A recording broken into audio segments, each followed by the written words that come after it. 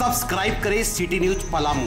व bell icon दबाकर पाए परमंडल की ताज़ा खबरें सबसे पहले, सबसे आगे।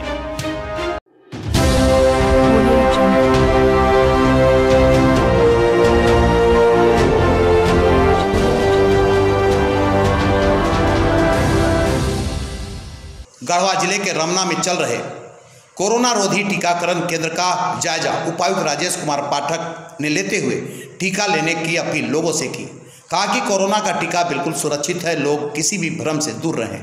उपायुक्त राजेश कुमार पाठक रविवार को सामुदायिक स्वास्थ्य केंद्र रमना में टीकाकरण का जायजा लिया। इस दौरान टीका लेने पहुँचे पीडीएस दुकानदार, सामाजिक कार्यकर्ता और कई लोगों से कहा कि वैश्विक महामारी से सुरक्षित रहने के लिए टीकाकरण अनिवार्य है। ऐसे आप सभी अपने स्तर से लोगों को टीका लेने के लिए प्रेरित करें ताकि ज़्यादा से ज़्यादा लोग टीका ले सकें।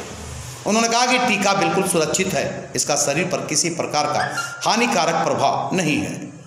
कोरोना टीका के प्रति किसी के बहकावे या भ्रम में न रहे। मौके पर मौजूद चिकित्सा पदाधिकारी अरुण कुमार ने अस्पताल के कर्मियों और, संसाधन के अभाव के संदर्भ में उपायुक्त को अवगत कराया। मौके पर मौजूद चिकित्सा पदाधिकारी अरुण कुमार ने अस्पताल में कर्मियों और संसाधन के अभाव के संदर्भ में उपायुक्त को अवगत कराया।